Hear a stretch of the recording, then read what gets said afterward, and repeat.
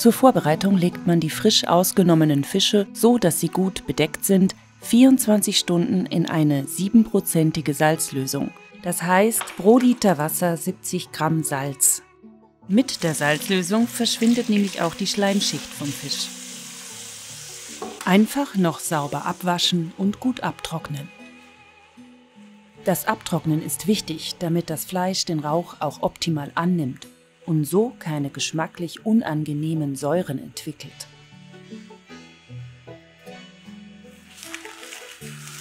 Das Räuchermehl, man soll hier Buchenholz, auf jeden Fall harzfreies Holz oder Späne verwenden, äh, gibt den Fischen den Geschmack und auch die Farbe. Für das Räuchermehl ist hier ein Extrafach im Boden verbaut.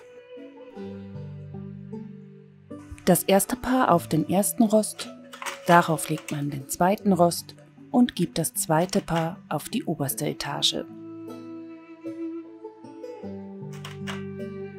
Das ist jetzt der Spiritusbrenner mit zwei Spiritusöfen, gefüllt randvoll mit äh, Spiritus. Die zündet man dann an. Jetzt nur noch den Deckel auf die Räucherkammer und diese auf die Feuerstelle geben. Und fertig sind die Fische dann, wenn der Spiritus nach ca. 30 Minuten verbrannt ist. Eine kinderleichte Möglichkeit, einen Fisch zu halten. Nach etwa 30 Minuten schauen wir nach und die Forellen sind schon wunderbar goldgelb. Die Haut leicht abgehoben, so sind sie genau richtig. Nun wollen wir Ihnen noch zeigen, wie man einen Fisch richtig zerlegt.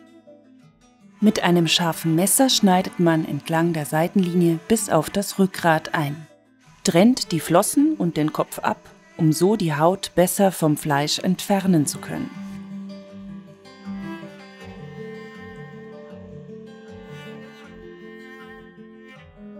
Und dann kann ich das obere Filet einfach nach oben klappen. Da habe ich jetzt ein völlig grätenfreies Filet. Und mit dem unteren, das kann ich nach unten schieben. Dann habe ich da auch ein Filet, da haben jetzt aber die Bauchgräten oder die muss ich dann rausziehen. Und dann nehme ich das Rückgrat hinten und kann das wunderbar aus dem Fisch rausheben.